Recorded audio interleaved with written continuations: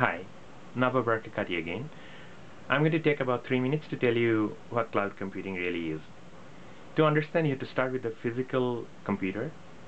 Anyone, think of a desktop, a laptop, server, whatever, a handheld, uh, smartphone, whatever.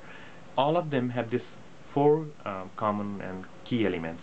You have the processor, you have memory, you have storage, and you have network connectivity. On top, you have the operating system, Windows, Linux, so on and so forth. And you have applications. Um, you know, spreadsheet, word processor, web browser, so on and so forth. So that's a physical computer model that you have used all the time for a long time. Along comes the idea of virtualization. Now the virtualization is actually software that creates multiple virtual machines on a physical machine. And each virtual machine has its own collection of virtual processor, memory, storage, and network connectivity.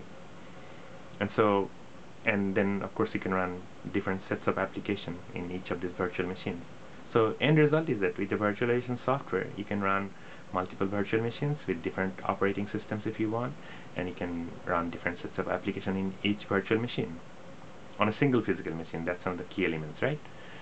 Then other um, concept that you have to remember is that of course you need to be able to create and destroy these virtual machines easily. That's a key element as well. And there's control software for that. So the software uh, assigns memory to virtual machines assigns storage to virtual machines. So those are called provisioning. So the control software for rapidly provisioning concept of virtualization for creating virtual machines together with network connectivity good network connectivity uh, gives you cloud now the use the term cloud comes from the fact that when you draw, we drew network diagrams, we always show the cloud, uh, net, in the internet as a cloud.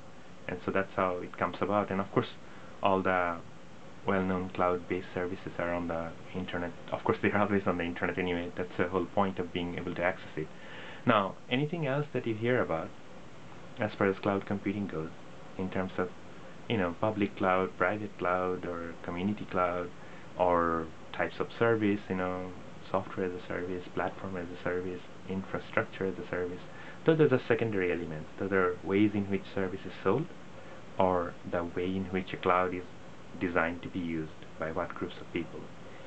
The focus on the basics, virtualization, management software, and network connectivity combined is going to give you a cloud.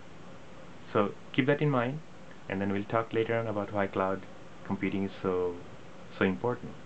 Thank you.